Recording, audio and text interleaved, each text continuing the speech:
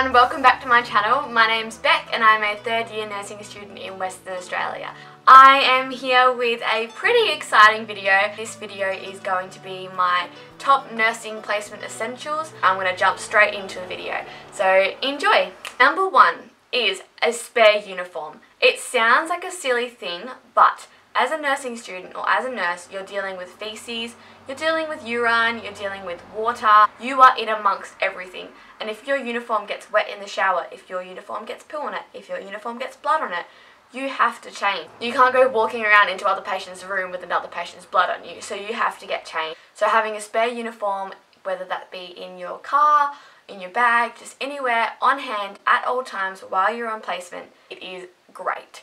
So our university's policy is we have to present all of our original documentation on our first day to our CNF, which is our clinical nurse facilitator. So that includes our national police clearance, our criminal screening card, working with children's check, everything. So it's just nuts.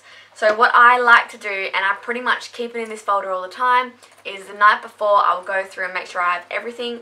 So I'll have all of my serologies printed out, ready, my national police clearance, all of my documentation in this file ready to go. I'll put this in my bag the night before so I know that it's 100% there and then the morning of the placement or when you're doing your orientation you can just whip this out and you know that everything's in there that you need. Number three, good old trusty sneakers. You have to have good comfy shoes otherwise you will be sorry like I was. I decided that on my first year I was not doing many placements and I would be fine because I was just a first year. I didn't need to invest in really good quality shoes and I was wrong. I wore porous shoes when I was showering residents and I had soaking wet feet for the whole day. So get yourself a pair of sneakers that are leather, waterproof, slip resistant, great. These ones are just Skechers from the Skechers shop. I don't know, but they're good. Number four is a notebook. I don't care what kind of notebook it is or how small, make sure it fits in your pocket, but that's it. It's so good for writing vital signs down, writing things that patients say, writing things that you need to do, just having it on a list in your pocket, otherwise you will forget. So yeah, little notebook is always handy to have. Number five is pens. Oh my gosh, I can't stress this enough. You need black pens in your life all the time. Nurses have to write in black pens. I don't know if that's universal, but it's definitely Australian. They go missing all the time. Have them on you. Another thing is a highlighter. From my last placement, they had little care plans where they had 8 o'clock meds, 12 o'clock meds, and then they had like DDs. And so you just highlight if that patient had a med at 12 o'clock. So you know and you're on track of everything. I loved it. So yes, a highlighter. Another thing that I find really helpful is this little book. It's taken me ages to realise that I have this. Up until my last prac I didn't have it on me during prac but now I definitely will have it on me for prac all the time.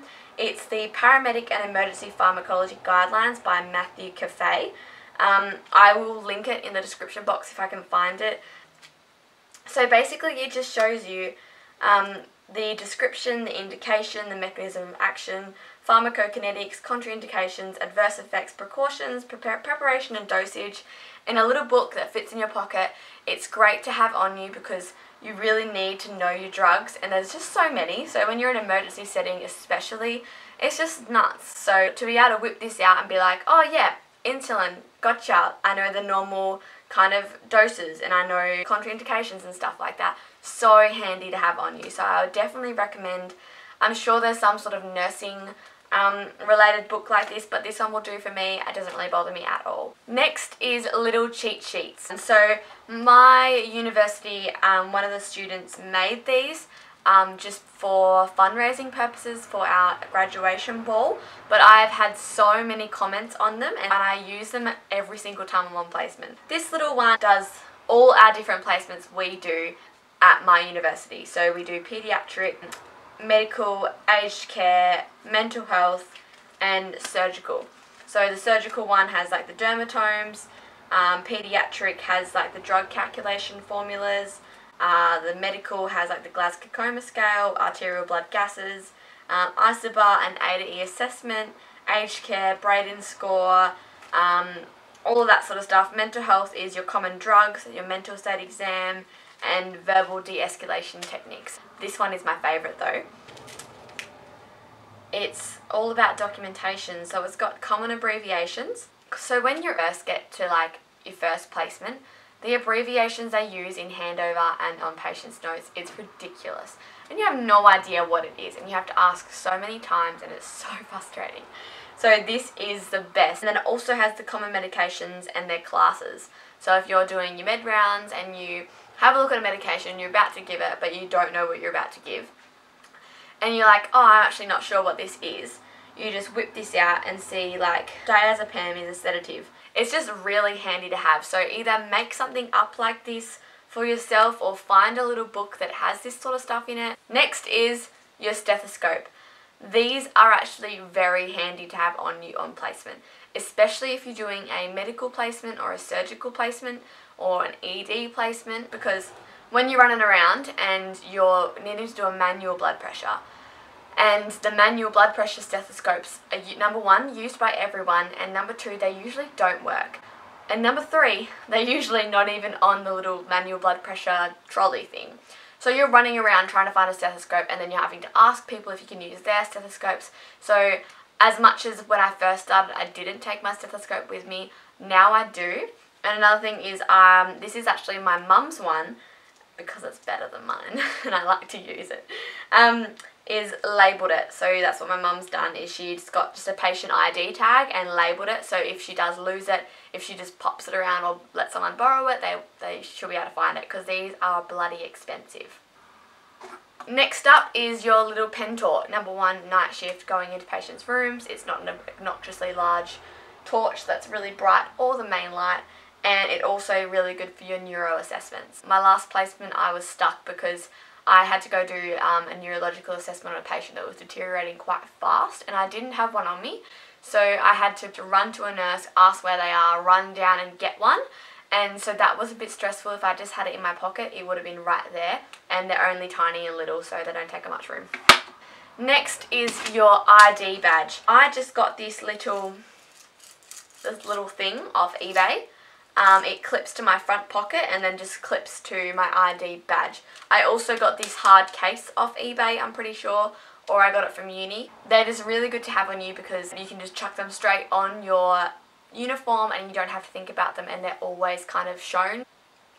Next is a pretty typical one, so I'm not going to go into it. Fob watch. These are definitely a necessity. If you're counting respirations on a patient and you don't have one of these, you're looking around the room for a clock, you don't have your phone on you because you're not allowed it, and it's just a nightmare. So always have yourself a fob watch on. This one was $3 off eBay. eBay people. So good. Get one. Next is a spare hair lacky. This one sounds like another one of those weird ones, but in Australia, I don't know if this is I, I don't know about the rest of the world because everyone else seems to wear their hair out when they're nursing, but in Australia you have to have your hair tied up either in a bun or if it's short in a ponytail. You can't have your hair flopping around like this. I wouldn't be allowed because you are constantly leaning over IVs, constantly leaning over wounds, changing people, everything. So just have a little spare hair lacky in your pocket. Another one that's a really good one that I've not heard before is having your scope of practice in your pocket. I don't know if this is particular to my university, particular to Western Australia, but we have a scope of practice, our different placements. So first year, we're allowed to do this. Second year, we're allowed to do this and this. Third year, we're allowed to do all of this and then this. So that little piece of paper in your pocket stops you from ever doing something you're not allowed to do. I've had people come up to me and be like, oh, can you put a catheter in? Oh, can you take an IV out? And I haven't known exactly if I can or not because I haven't checked. That's one thing that I find really handy to have and something that my facilities love when I have. So I can whip it out and be like, oh actually yes I can give that intramuscular injection or I can't put that catheter in just yet. Another thing is having mints. As a nursing student, or as a nurse, anything, you're having lots of coffee, but you're also right up in patients' faces. So for this reason, I like to have mints in my bag. So after I have my morning tea and have a coffee, or while I'm drinking a coffee while I'm on the ward, I will have a mint. So that way when I'm talking up close to someone, I'm not stinking them out because that's just gross and it's not nice for your patients.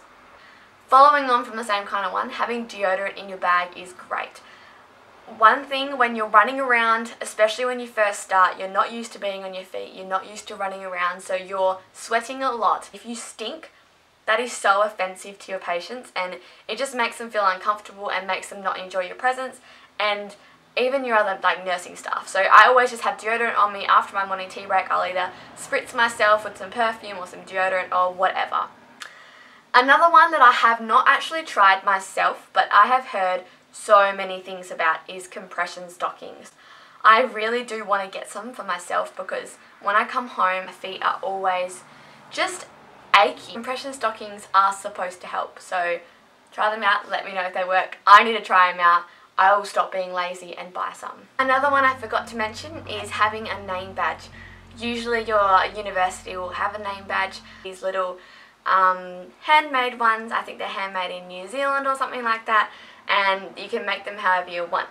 So I got a little surfy girl one for my Esperance placement, so it's a little surfer, just says Bek. A lot of the time they'll be really helpful in pediatric placements because, you know, they're less scary and intimidating than this big scary name badge. Last but not least is a water bottle. When I first started, I was so nervous about even having the water bottle at the nurse's station because I was like, no, that's intruding. That's ruining their personal space. But then I would get so dehydrated when I was on prac that I would feel sick. So you need to put your water bottle at the nurse's station. Just do it. Drink throughout your shift because otherwise you will feel like crap. Anyways, so that is my top things to bring while you're out on placement as a student nurse. I really hope you enjoyed this little video and be sure to check out my other ones and otherwise thank you so much for watching and I'll see you in my next video. Mwah!